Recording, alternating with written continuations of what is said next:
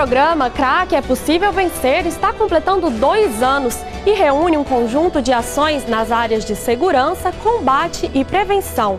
Uma das metas do programa é oferecer 10 mil vagas para o tratamento de usuários de crack e outras drogas. E até dezembro de 2014, o governo vai investir 4 bilhões de reais no tratamento e no combate para os usuários de droga. Veja nesta reportagem da redação da NBR. Crack. Droga perigosa que pode causar dependência, tirando a liberdade de quem usa. Mas para enfrentá-lo, existe o programa Crack é Possível Vencer. Gaiolas que se abrem e libertam as pessoas do vício, dando a chance de construir uma nova vida. Essa é a campanha publicitária do programa Crack é Possível Vencer, veiculado em todo o Brasil. O tema é o uso da droga como problema que deve ser combatido por toda a sociedade. Também são assistidos por equipes de assistência social e saúde. E para enfrentar o tráfico de drogas, o programa integra as ações de inteligência das polícias federal, rodoviária federal, estaduais e guardas municipais. As cidades também ficam mais seguras, com a rede de monitoramento e uma polícia mais próxima da comunidade. O programa CRAC é possível vencer está em todos os estados.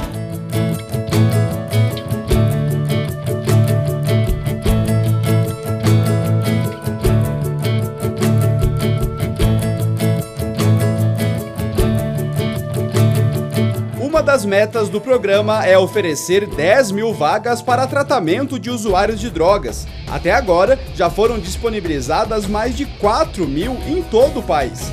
Os recursos são do Fundo Nacional Antidrogas e somam 132 milhões de reais por ano. Outros resultados já alcançados pelo programa são 615 leitos em enfermarias especializadas, 90 consultórios na rua, 42 centros de atenção psicossocial, álcool e drogas 24 horas e 232 serviços de abordagem social na rua. Foram capacitados 3.500 policiais e entregues 50 bases móveis equipadas com vídeo monitoramento. Até dezembro do ano que vem, devem ser investidos 4 bilhões de reais no programa.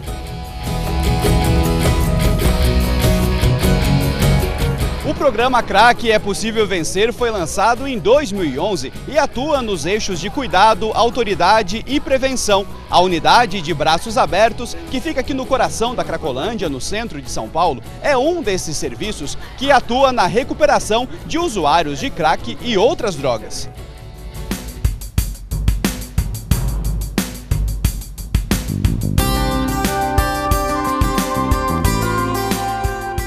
Local foi batizado pelos próprios dependentes químicos. São 11 secretarias municipais articuladas no trabalho de redução de danos aos usuários. Você saber ouvi-los e entendê-los. Então nós temos conseguido muito assim, encontrar famílias, encaminhá-los para famílias, encaminhá-los para um tratamento. Então você vê que realmente é um trabalho gratificante e é um trabalho que a gente vê que estamos tendo resultados e positivos.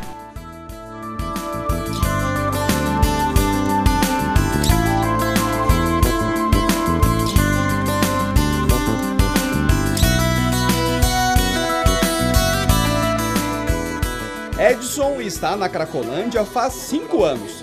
Está contente com o serviço porque encontra aqui o atendimento de necessidades básicas, como banho e alimentação. Aqui é um lugar bom para nós, para descansar, para fazer alimentação. Nós tomamos banho, usar o banheiro,